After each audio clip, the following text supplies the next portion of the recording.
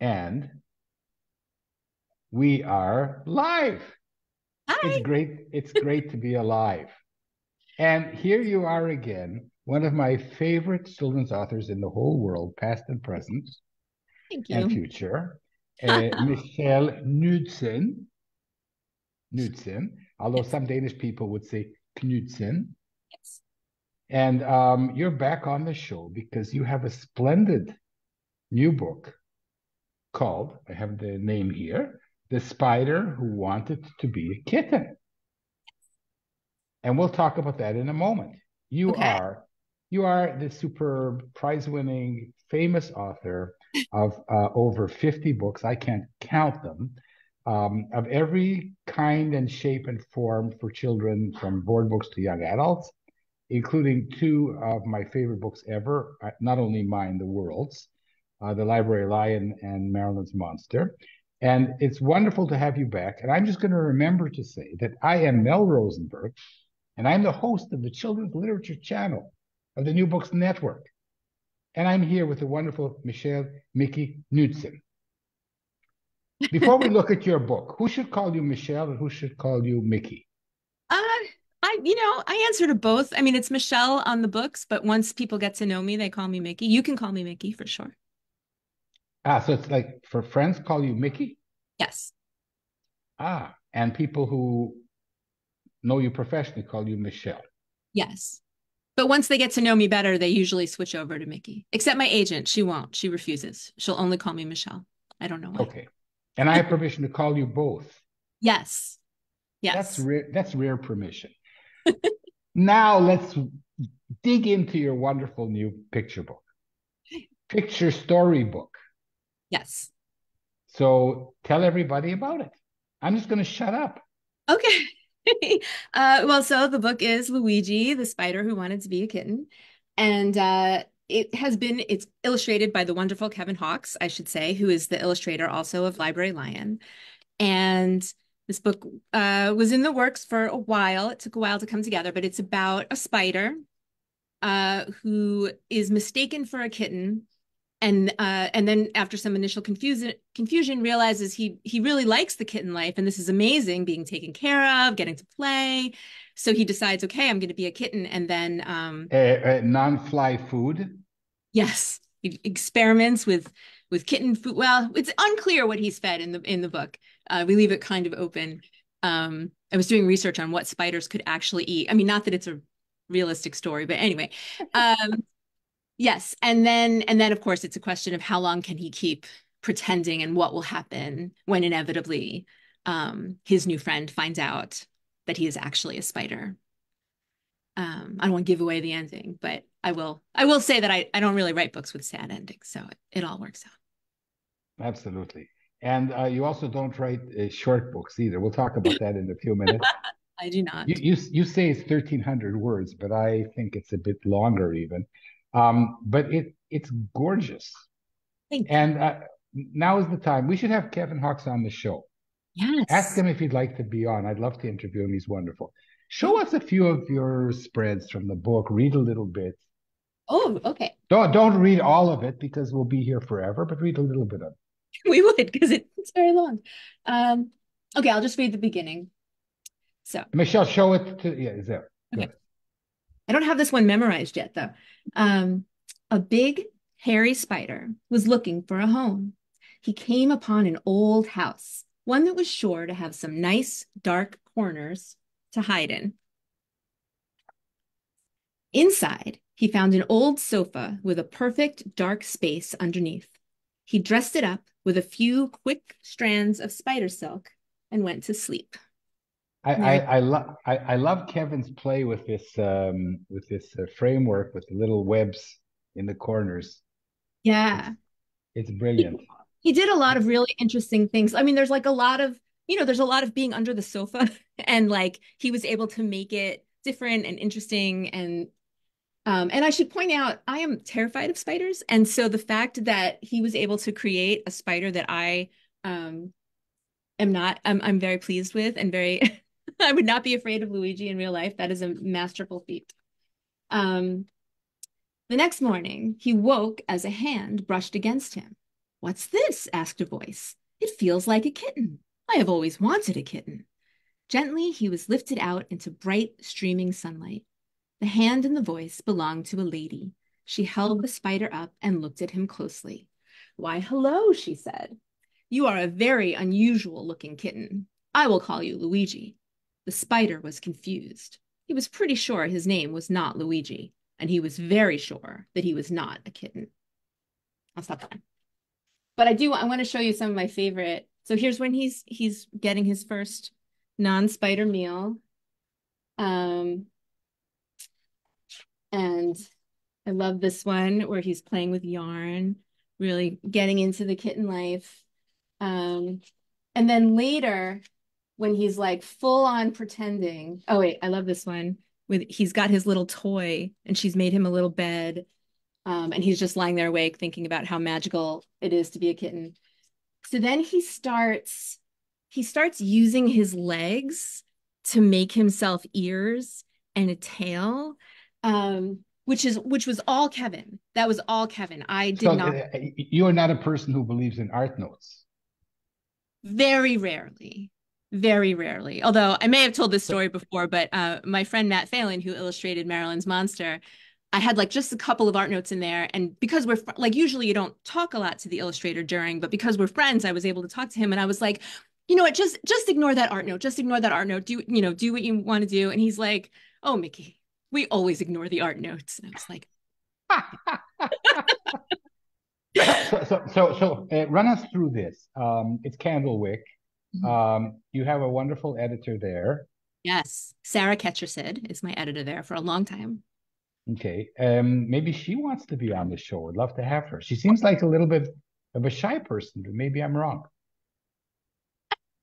She's behind the scenes, I think. Like I don't I don't know that she's done a lot of like but I'll, you know, I she can, I'm sure. I'll talk to her. I'll ask her. For sure.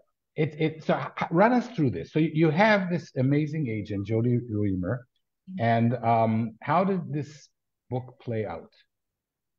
Um, well, actually, for this one, uh, I sent it to Sarah directly because we have this we have this wonderful relationship since I've been working with her for so long where I could be like, you know, I'm working on this story. I don't know if yeah. it's working. Hey, I mean, I talked hey, to Jodi first. Yeah. A Mickey walked into the Candlewick. Um to, to paraphrase your Library Lion. Yes. I yeah, I got the reference. I know. Yeah, but not everybody else did. Maybe they did. Maybe they. did. um so like I, you know, I usually I tell Jodi if I have something that I feel like, ah, you know, it's not ready, but maybe I could show it to Sarah. And she's like, go ahead. So um I showed it to Sarah and it wasn't, it was not working. Um, I mean, the origin story for this is that I was I was between apartments in New York City and I have a very lovely friend who had a house upstate. He's like, you can crash at my house until you find an apartment. And he got me set up and then he went back to the city and I'm alone at this house in the country. And they have very big spiders in the country. And of course, as soon as he left, this enormous spider appeared um, and was just there, like in the house with me. Um, and I talked to him because I'm, you know, I'm terrified, but I'm not, I don't kill them. You know, they're very good creatures. I'm not going to do that. But he was also way too big for me to like try to catch him in something and put him outside. So I named him Luigi. Uh, and I would talk to him about. Hold on, hold on a second, Mickey Michelle. Um, I believe that there's importance in names. Mm-hmm. Like you didn't uh, um, just name him Luigi, or did you? I well, I did, but I'm sure it came from somewhere. You know, like I wanted a name that sounded friendly and, um, you know, like like I feel like a like a like someone named Luigi is not going to hurt me. You know, he sounds like a like a friendly guy. It's an Italian name, and like I I love Italy. It's my favorite country to visit. And yeah, uh, you see, you see. it just felt. But, but, but it, Luigi is an Italian. Where is he from? What does he do for a living? The spider? No, the Luigi. well, there's no real Luigi. It's just. Uh, oh, okay. It's just. I mean, there are. I guess lots of real Luigi's, but he wasn't based on anyone. It was just it just felt he, right. He, he was he was an ephemeral Luigi. Okay. Yes. So um, yeah. So that's uh that's where the name came from, and so I when I finally nothing bad ever happened. He stayed away from me. I would see him crawling around and you know, keep my distance. And then when I got home, I just sort of couldn't stop thinking about it. And so I wrote this story. Initially, there's a lady who loses her glasses and then thinks that she's found this kitten. And all the neighborhood children are like, it's not a kitten. She's like, what are you talking about? And it's like spinning webs on the porch and catching like the neighbor pets and stuff. And and it was funny and I liked it, but it wasn't, it didn't, it didn't have any heart really. It was just kind of a silly story. Um, so I kept working on it, kept working on it. And it was Sarah's idea to try writing it from the spider's point of view. And that changed everything because then then you're feeling what he's feeling and you you you're kind of on this journey with him and it it made it that was what made it start to work. There's nothing like editors, right? Yeah. You know, yeah. it they, they, they, they, I don't think it's their job necessarily to tell us um, what to do or how to write, but to, to, to pinpoint these things. You know, what would happen if you change the POV? Yeah, like they ask those perfect questions, and then you're like, oh, yes, and then you go and you work, and yeah. So, um, you we in our previous conversation, you told me something that I found amazing, and I'm wondering whether we should discuss this for a moment. Okay. Uh, you, you told me that you wrote Library Lion on a purple envelope at 2.30 in the morning. Yep. And and you, you didn't stop until it was done. And then more or less it was done. Almost. I mean, I wrote it, it I had a first draft that that first night slash morning. Um, it didn't all fit on the envelope. It was an envelope and like whatever paper was handy. Um, and then there was like sorry, I was a I was at my I was at my dining room table and uh, this is when in I lived Ithaca, in Ithaca. Yeah, where yeah in New York City, I don't. There's no dining. You know, there's no dining room tables, but you know, I had a house when I was up there, so there was more room, and I was sitting there, and uh, it was just whatever I could reach that was on the table, like scraps of paper, whatever that was nearby. Um, so I wrote out the whole first thing, but it was there was like a section missing, and in the morning when I woke up and read it, I was like, "There's something missing," and I worked on it a little more. But it was still pretty much 24 hours that first draft just like came i don't know where just so, so here's the and, and what about and what about the spider? And the spider is the opposite. Like it just took i mean i wrote that first draft in 2017 so i've been working on this story for a very long time so so you see that there's no i was just going to say here this is the way to succeed is to write your first draft and, and you see, nothing really, there's no real rules, are there? No. There's the, the rule of less than 500 words, which you keep breaking. I do. and last time you told me that you, that, the Library Lion kind of wrote itself in the middle of the night. And I'm saying, oh, Spider Luigi. And then you tell me, no, no, no, it went through many, uh, many revisions. So yeah. there's no, there's no fast and steady rules, are there? No. I mean, Although you still have to write the first draft. Nothing ever happens until you write the first draft, no matter how long it takes you. That's does, still. Does it, does it ever happen to you that you say, "Oh, this is a great idea. This is a great idea. Oh, I can't wait till I'm home and I'm going to sit down and I'm going to write it on a paper, on whatever, on the wall." And you write the first draft and you look at it and you say, "Oy vey." Yeah, all the time, all the time. I have lots and lots of started stories that like I was all excited about, and then I'm like, oh no, that doesn't work at all. But I save them because sometimes I come back to them, and I and and later some I'll I'll find the thing, you know, I'll find a way to like make it work, or I'll take something from it and use it for a different story. I save everything. Yes. What I call thinking between the boxes. Yeah, it's it's it's all about taking things that shouldn't be connected like a furry, loving uh, spider that um, becomes tries to become a cat. So, so Michelle, you know the the um, the lady in the story. I mean, she has white hair, but she's a little bit like you, and and um, Luigi is a little bit like you. Um, who's more like who, who do you who do you um, uh, identify with more in this story? Oh, that's no one's asked me that yet. That's a good question. Um, I mean, I think there is a little, there has to be a little bit of me in all my characters, right? To be able to. yeah, of... for sure. That that wasn't the question. I know there's a every library lion. You're everybody. I know that. who are you the Who are you the most? Um. Uh, probably probably Luigi because Betty is very sure of herself and uh, she's got everything figured out, and definitely not there.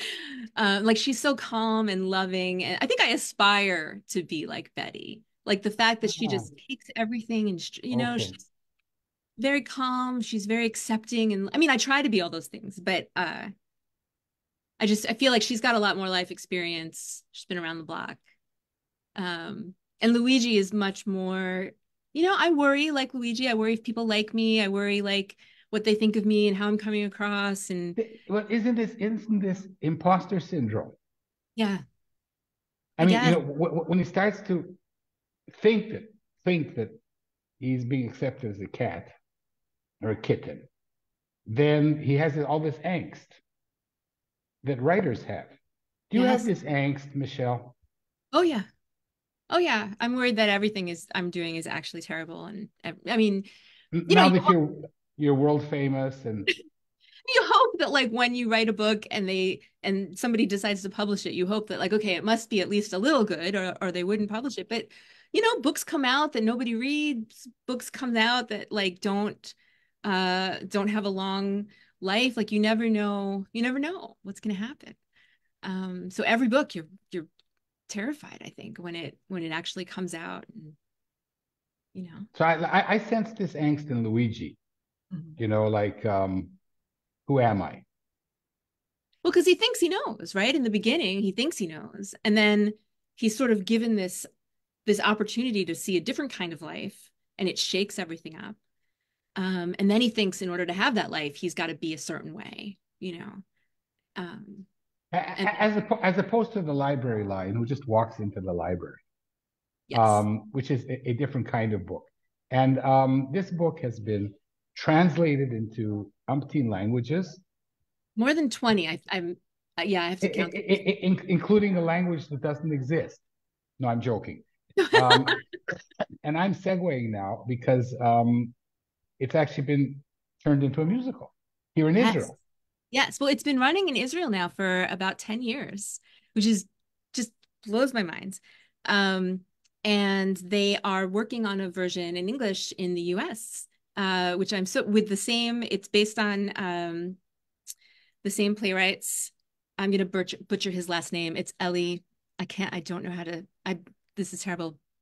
Oh, this is terrible. I don't even want to try to say it. and if he's listening, he's to be very mad at me. But uh, he's brilliant, and he wrote the uh, Israeli version. And so we're working uh, with Adam Theater in Boston, um, and they're creating a uh, an English version based on that play, and they're going to start it um, in the initial performances are going to be in the Boston Public Library, um, and they're going to have like children, school children, come in and um, be in in the library experiencing this amazing thing and then it's going to move on to theaters and i'm very excited. and where and when is it supposed to debut? Uh september. I'm not sure of the exact start dates yet but september is when it's scheduled to start so it's all happening very fast and it should start in uh, ithaca it would be amazing if we could do it in ithaca oh my goodness uh because since that's where i was when it all started the ithaca i mean the cornell library system is just amazing and beautiful. And uh, I should I should see if I could make that happen. That would be amazing. Okay, amazing. well, wonderful. And and and this is also an opportunity to talk about you as a as a show person. I didn't know this about you that you sing and and act. Well, it's been I mean it's probably been about a decade since I was last in a in a musical. Um but what, yeah. What musicals have you been in? a lot of Gilbert and Sullivan to the dismay of all my friends who would come and see me who were not Gilbert, Gil, Gilbert and Sullivan operettas. Pirates of Penzance is my favorite. I've been in that one three or four times. HMS Pinafore. Yes, I think that was the last one I was in was Pinafore, um, with the Village Light Opera Group in uh, New York City, and uh, amazing. Uh, so fun. I love it. Now I do karaoke. That's the only every year on my birthday. My friends know that's what we're doing because it's my only outlet. Almost you, my you only. You just had a birthday. I did. I know that you had a birthday, not only because of Facebook, because your husband bought you an incredible uh, birthday gift. Yes. Um, he knew that I have long, long wanted. Well, I mean, I never actually really even dreamed that I would. so I love snakes. I just love snakes. And when we, we go hiking and stuff, and like if someone sees a snake, like the my stepdaughter's like, Mickey, come here, you know, and everybody freezes and I run over and I see them. And they're so I think they're just amazing. And uh, so for my birthday, I was I was he enabled me to get a snake. Um, and they're much more. No, I, am trying to think if I bought my wife a snake for her birthday. I mean, yeah, you, you have to know they want it. You can't just surprise somebody. This is not a general idea to all the people who are watching and listening. This is not Mickey Knudsen's best advice. No, do not give your spouse a snake without warning. Um, but no, he's teeny tiny. He's adorable. He's an albino corn snake, and uh, he doesn't have a name yet. I'm still trying. They live a long time, so like they can live 20 to 30 years. So I have to think of a really yeah. good. And, and and they eat spiders. Uh, well, I guess they could eat spiders. I mean, this one eats frozen little baby mice. Um, I know it's it's hard, but you know, it's that's the it's the circle of life. I don't know. Your face. Where do you buy frozen little mice? They sell them at like um pet supply stores and stuff. You're giving me like a million ideas for a story here.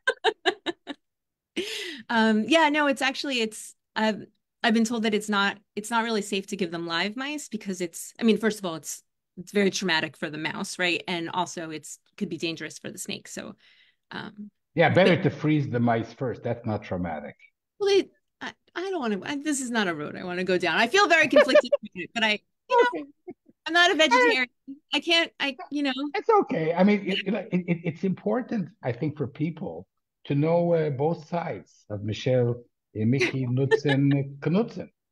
Yes, the many so, many. No, and, and it, it's it's okay because this is what we're made of as authors. Um, so let's go back to the uh, to the show and um, and what if you could appear in a show, what would it be? Oh, like if I could if I could be in one now. Well, you could pick any show. Would it be Gilbert and Sullivan? Uh, you're, you're opening on Broadway and whatever you want.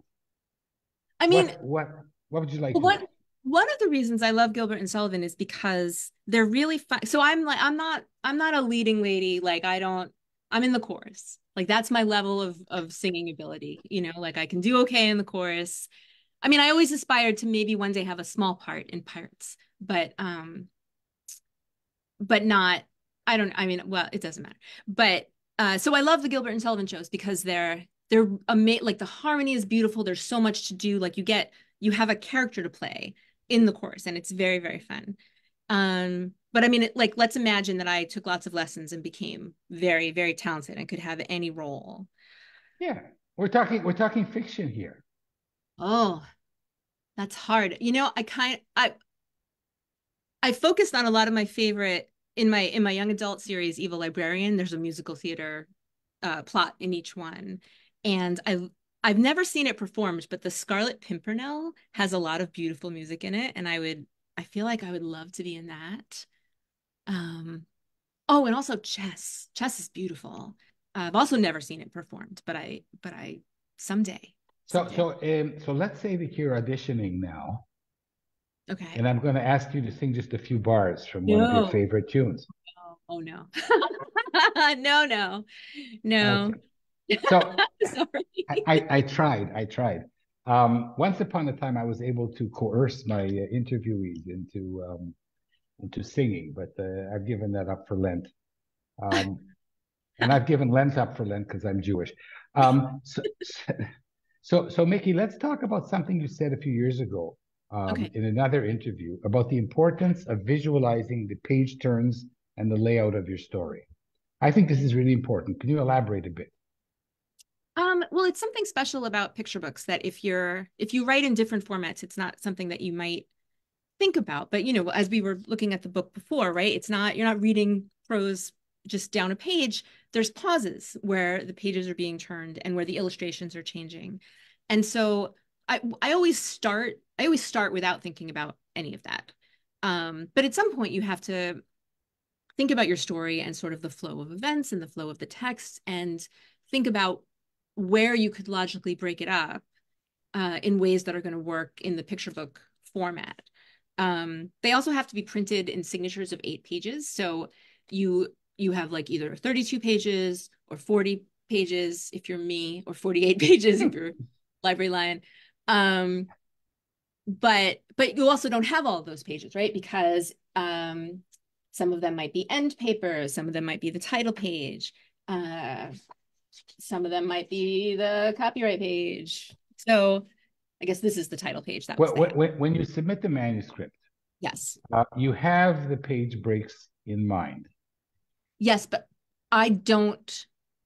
I've usually paged it out to make sure it works, but then I put it back together and I take the pages out okay, because so, the editor might so, have different ideas. Exactly. So, so you've created a page, a, a dummy book um, at some level, so you have an idea where the pages turn, even though that not that might not be where the pages turn. It's not our job to right. decide where the pages turn, but it is our job to envision what the book might look like.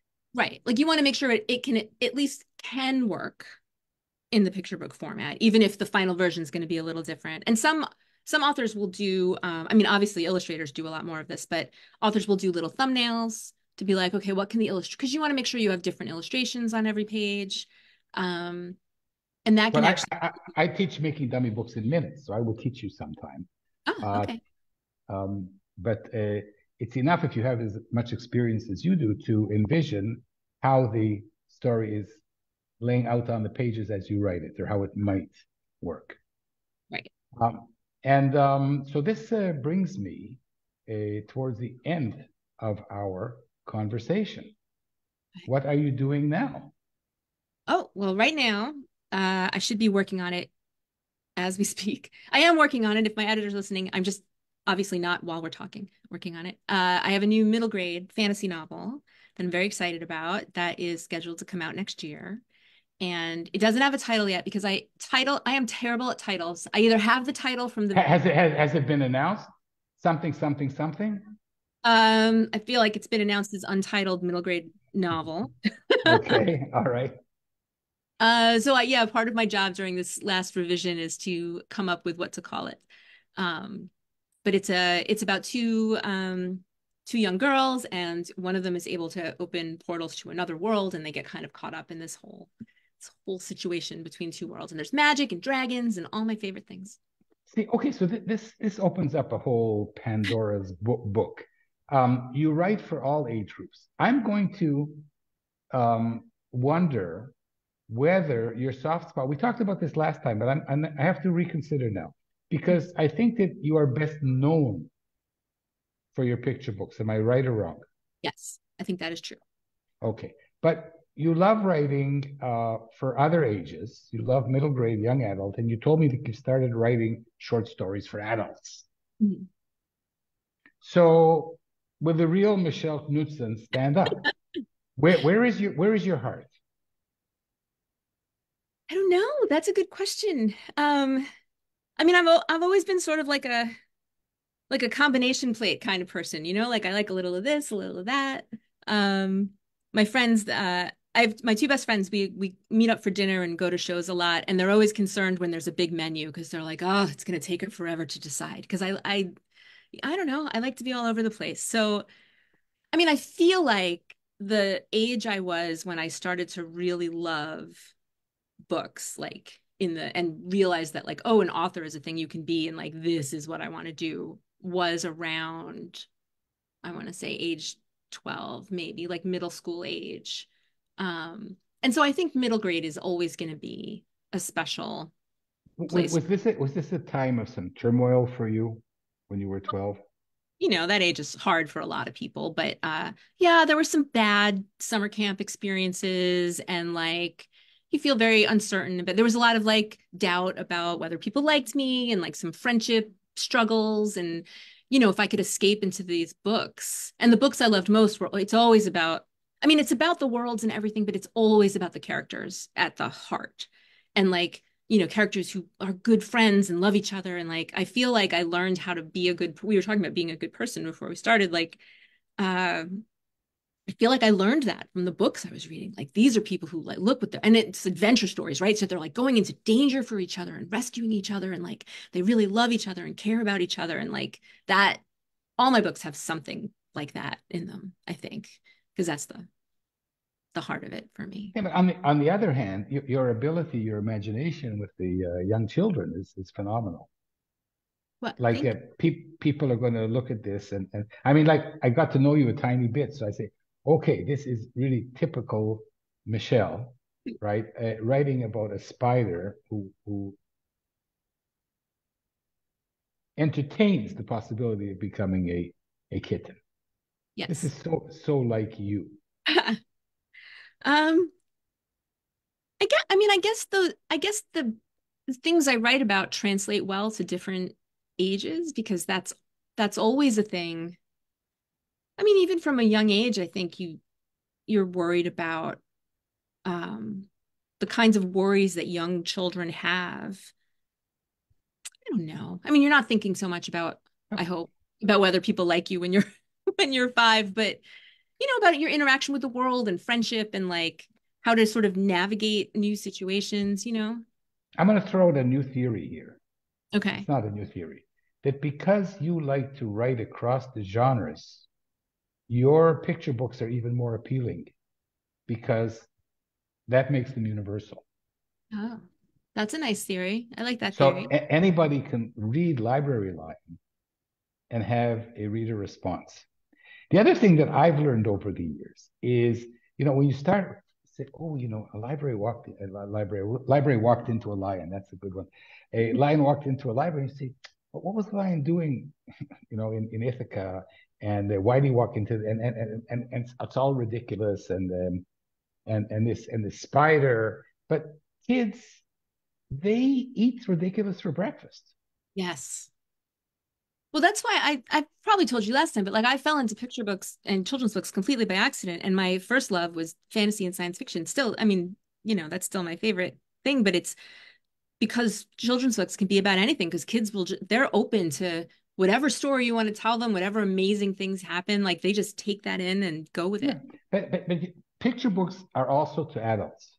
They're Yes. to the librarians and to the parents reading it and to the teachers and the editors and the agents and you know they're, they're if you don't pass the adult uh, you're not going to have a picture book Yeah, that's a it's a very tough thing about so, writing. so, so so now I, so now i figured you out you see because your ability to write to every age is what is needed. And then the other thing that you have is the theatricality. Hmm. it's it, it's not um it's not a matter of coincidence that library lion has become a uh, a play. Your writing is theatrical. I can i can see luigi becoming a play for children.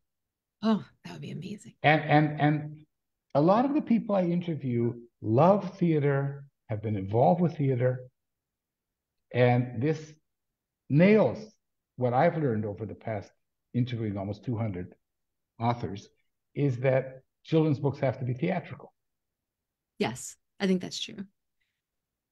Um, and I mean, they're picture books are so visual; it sort of lends itself to that, right? You know, there's that you are sort of watching it unfold along with the narration, so that tends to work.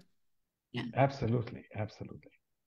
So um, the last thing I wanted to ask you today, uh, because I want to have you back in a year or so, um, is the process by which this particular book, Luigi, the spider who wanted to be a kitten, how did it work out? Because Kevin Hawkes, you, you know, and you worked together on Library Lion, and um, you're not supposed to see the artwork, and you're not supposed to bother the illustrator very much. Right. How did how did this play out? Um, well, we we were doing an a oh, gosh, I can't remember which one it was. But we were doing a podcast interview for Library Lion, and they asked us at the end, you know, what are you working on next? And so I mentioned, oh, I'm working on this picture book about spider. It's mistaken for a kitten, and Kevin was like, "Oh, do you have an illustrator for that yet?" And I was like, "Why no?" And I, but I didn't, I didn't know if he was kidding. You know, like I didn't know if he was just being funny, and I don't know him well enough um, that I could have been like, I don't know. I was afraid to ask him directly, so I told my editor. I was like, I don't know if he was serious, but he might want to do it. She was like, Oh my God, that would be amazing. So, uh, you know, and then but things happened behind the scenes at the publisher. So I guess the art director talked to him. Um, and we were so happy that he agreed to do it and so excited. Everybody was so excited. But then, yeah, the I don't, illustrations are amazing. yeah. And I see, I see sketches at various points. Um, but I still, I don't talk to Kevin about them like like my editor will show me like initial character sketches maybe and they're probably not even initial character sketches. They like they've been working or whatever. No but you must have worried about the spider. I mean i was i was i was glad that i didn't have to be the one to try to come up with a way to draw him in a way that would make him appealing. And because i really do i have a, a phobia. Like i did exposure therapy to try to like deal with my spider phobia at one point. Um i find them most of them in real life just upsetting to look at, you know? And I'm like, how's he gonna do this? Good luck, man. I, am glad it's not me. And he he can't like it's just he's so soft and furry and like um you do kind of want to hug him and snuggle up with him, which is amazing. How did he make a spider so cuddly? I don't know. It's, it's a wonderful cuddly spider. Your your, your book, the, the text is is is gorgeous. Um, you don't feel like the 1300 words are there. you just boom until you finish the story. It's it's so it's so wonderful. Um, and the last thing is I've been asking you the last thing now for 15 minutes. I don't know That's okay. I don't, I don't I don't want to let you go. Um, so is of the 50 plus books that you've written, uh, many of which are illustrated, is there one book where you didn't like the illustrations? Is there such a thing? No. Sometimes they're not what I imagine, especially early on, because at, at this point, I get a vote, you know, I get to be part of the conversation. Um, but early on, it was more like, here's your illustrator, you know, like, doesn't matter what you think. Um, so there would be times would be like, oh, that's not what I pictured at all. But it's still great. It's just different. Um, and I mean, that's been part of my, now I love that. Now I love the idea that like I'm going to be surprised by what the illustrator comes up with. But it's in the beginning, it's hard because you're like, no, it's my story. And this is what I was picturing for this scene. And like, why aren't they drawing what I want? Um, and so, you know, I had to sort of learn to let go of that. But it's, I mean, now I'm just amazed by what the illustrators can do. And like, they're, I, they come up with like Kevin did with the spider legs and the ears. Like, I would never have imagined that. So I'm happy to let them kind of work their magic and not get in the way. Absolutely. So um, you need to let go that, that's one of the wonderful thing about picture books is that in order to have the book, you have to lose the book. Yeah. Yeah, it's it's a hard thing to learn too, especially when you're when you're starting out and like you have this, you know, you you've pictured it all in your head. You know what it's supposed to look like, and how do you how do you release that? But you have to. You have to do that with every book, right? You have to send it out into the world eventually, and people read it, and you're not there to be like, oh no, no, this is what I meant. Like this is what this is about. You know, they have their own interpretations. The, the death of the author. Yeah. This is uh, the book goes out and it's it's really not yours anymore. Yeah. But that's a it's wonderful thing too, right? Like it becomes different things to different people and that, that's that's the magic. Yeah. That's the magic. Yeah. The, the, a picture a picture a picture book starts out as your story and then it becomes the editor's story. And then it becomes the uh, illustrator's story. And then it becomes the reader's story. Yeah. It's gorgeous. I, I can't think of anything that is more challenging exciting to do. And um, i'm really I'm, I, must say this uh, i'm going to call you mickey now because i'm really honored to have this opportunity to talk to you you are a, a star and a guiding light in this uh, in this field in this industry, and um, I really love your new book. I hope it goes on to become another musical, um, and I will come to Broadway to see it. And um, lots of good luck, and uh, congratulations on your new book. So we have been talking with Michelle Mickey Knudsen, Knudsen if you're Danish and talking about her new wonderful book, The Spider Who Wanted to Be a Kitten of All Things, which is illustrated by the wonderful Kevin Hawkes and is published by Candlewick just out this month. And uh, it's wonderful. And thanks so much. I had so much fun. I was looking forward to it. And um, having me back on. Yeah, it, well, you know, I, I, I usually don't have authors um, back on the three times but if you go on right, writing these kinds of stories, I'll have you on till uh, infinite. So, uh, Michelle Mickey Knudsen, thank you so much. And uh, to all of our readers, and listeners, and watchers, um, I am Mel Rosenberg for the children's literature channel of the New Books Network. And I've been here with the wonderful Michelle Knudsen celebrating her new Spider book. Thank you so much. Take, take care, dear.